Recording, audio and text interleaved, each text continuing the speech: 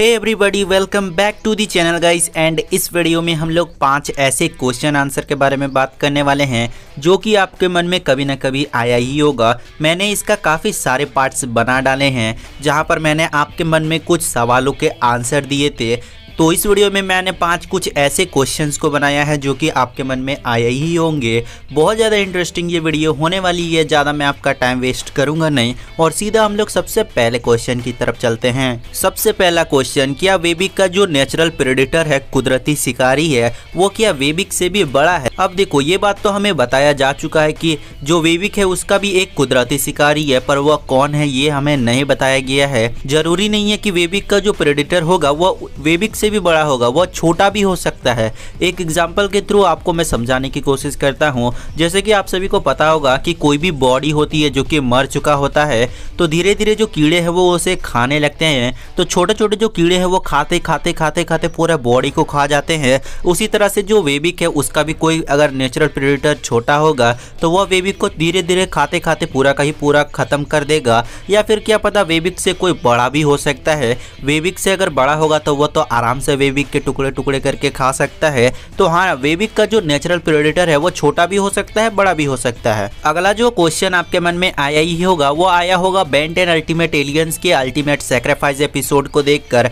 आप सभी को पता ही होगा कि बैन अल्टीमेट्रिक्स के अंदर चला जाता है। जब वो अल्टीमेट्रिक्स के अंदर जाता है, तब हमें बैन के पास अल्टीमेट्रिक्स देखने को मिलती है। आप लोगों को अभी दिख रहा होगा अपने स्क्रीन पर, वहाँ पर अल्टीमेट्रिक्स पूरा का पूरा ही आ जाता है, जबकि अल्टीमेट्रिक्स का जो ऊपर वाला हिस्सा है, वही सिर्फ़ बैन के पास रहती है। अब इसके पीछे क्या रीज़न हो सकता है? देखो बैन टेन की तरफ़ से ये ऑफिशियली कन्फर्म करा गया है कि ये एक मिस्टेक था। मतलब कि एनिमेशन में एक मिस्टेक करा गया था। वो जो बीच वाला जो आपको देखने को मिलता है सिंबल बेंटेन का, जो कि गैलवेंस प्राइम के होम प्लेनेट के जैसे हमें देखने को मिलता है, या फिर प्लमर बैच की तरह जो हमें सिंबल देखने को मिलता है वही सिंबल सिर्फ़ बैन के पास था। अब वो किस चीज़ से अटका होगा, वो तो मैं भी आपको नहीं बता सकता हूँ। पर बेंटेन की तरफ़ से ये ऑफिशियली कंफर्म करके बता दिया गया है कि वह एक मिस्टेक था, जो कि आप लोगों ने Ben ten ultimate sacrifice episode में देखा कि बैन के पास अल्टी मैट्रिक्स आ गई थी। तो ज़्यादा इसमें कोई दिमाग लगाने वाली बात नहीं है, वो सिर्फ़ एक मिस्टेक था एनिमेशन का एक एरर था। अगला जो क्वेश्चन है, वो आपके मन में आया ही होगा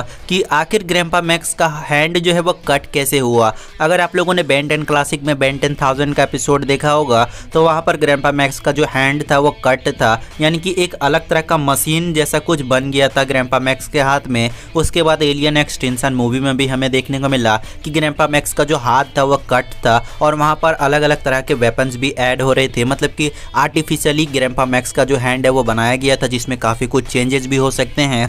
देखो क्या हुआ होगा। ग्रैम्पा मैक्स का कभी ना कभी हाथ जो है, वो डैमेज हुआ होगा, जिसके कारण गैलवेंस ने ग्रैम्पा मैक्स के हाथ में काफ़ी अच्छे अच्छे टेक्नोलॉजी को बनाकर उनके हाथ को बहुत अच्छा कर दिया होगा। ताकि ग्रैम्पा मैक्स कभी भी उनको हाथ की ज़रूरत पड़े तो उसका हाथ आ जाए। उसके बाद उनको किसी चीज़ की ज़रूरत पड़े, गन की तो गन भी आ जाए। या फिर काफ़ी अच्छे अच्छे जो टेक्नोलॉजी है उसको यूज़ कर कर ग्रैम्पा मैक्स का जो हाथ है उसमें चेंजेस करे गए हैं। तो यहाँ पर कुछ हुआ होगा कभी फ्यूचर में या फिर कभी भी हुआ होगा कि ग्रैम्पा मैक्स के हाथ में कट लग गई होगी। अगला जो क्वेश्चन है वो आपके मन में आया ही होगा कि ग्वेन के मैना पावर से क्रोमास्टोन को कुछ भी नहीं हुआ था। अगर आप लोगों ने देखा होगा, एक एपिसोड जहाँ पर हमें ग्वेन एंड बैन जो है वो लड़ते हुए दिखते हैं। तो ग्वेन अपने मैना से पूरा का पूरा जो क्रोमास्टोन है, उसको पकड़ लेती हैं। पर क्रोमास्टोन जो है वो अपने पावर से वो जो मैना था, उसको गला देता है। इसके अलावा आप लोगों ने देखा होगा बेंटेन अल्टीमेट एलियंस में। अल्टीमेट एग्रेगोर के ऊपर भी काम नहीं कर रहा था मैना पावर तो गैस आप सभी को पता ही होगा कि एग्रेगोर ने पाँच एलियंस को एब्जॉर्ब किया था। तो उसी में से कोई एक ऐसा एलियन था जिसके ऊपर मैना का कोई भी असर नहीं होता है।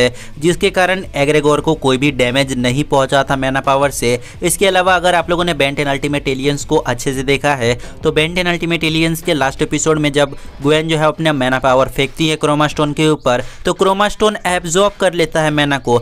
मतलब कि क्रोमा स्टोन को भी कुछ नहीं होगा मैना से। तो हम लोग यहाँ पर बोल सकते हैं कि कुछ ऐसे एलियंस होंगे, जो कि ग्वेन के मैना से कुछ भी नहीं होता होगा उनको। और गाइस एक और क्वेश्चन जो है, वो आया ही होगा कि खाइबर के शिप में आप लोगों ने बेंटेन के काफ़ी सारे एलियंस के स्केलेटन देखे होंगे हेड देखा होगा अल्टीमेट यूमंगसौर का आप लोगों ने वो हेड देखा होगा तो वो आखिर क्या चीज़ थे? तो वो गई असल में एक ट्रॉफी था जो कि खाइबर को मिला था। खाइबर जो है वो एक शिकारी है मतलब कि वो शिकार करता है तो उसको काफ़ी ज़्यादा ट्रॉफीज मिलती हैं और वही ट्रॉफीज को वो अपने सिप में सजाता है। वह सब ट्रॉफीज हैं जो कि खाइबर को मिली गई हैं। और आप लोगों ने काफ़ी ऐसे देखे भी होंगे बैन के एलियंस मैं एक फ़ोटो चिपका दूँगा, वहाँ पर आप लोगों को अच्छे से देखने को मिल रहा होगा कि खाइबर के सिप में कौन कौन से एलियंस के क्या क्या चीज़ें हैं? तो ये कुछ पाँच ऐसे क्वेश्चन थे जो कि आपके मन में कभी ना कभी आया ही होगा। और अगर नहीं भी आया होगा तो मैंने उनको सॉल्व कर दिया। इससे पहले भी गई मैंने काफ़ी ज़्यादा क्वेश्चन पर आंसर दिए हुए हैं। अगर आप लोगों ने नहीं देखा है तो आप मेरे चैनल के प्लेलिस्ट में जाना।